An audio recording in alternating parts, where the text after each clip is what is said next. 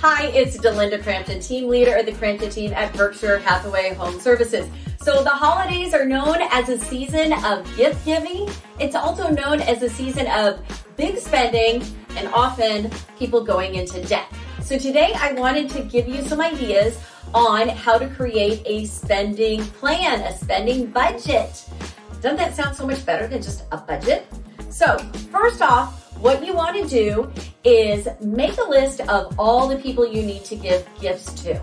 And then create a budget for each person. How much are you going to spend on each person? And come up with ideas, thoughtful ideas that fit within that budget.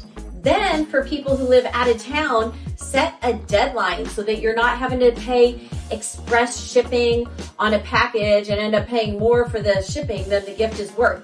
And then here's a little pro tip for you. Consider creating a separate account for Christmas gifts for next year. And from each paycheck, you can have a little bit go into that account each time you get paid. So then by the time you hit the holidays, you've got the money and you're not going into debt. So hope this is useful and we'll see you again next week for another Dialogue with Delinda.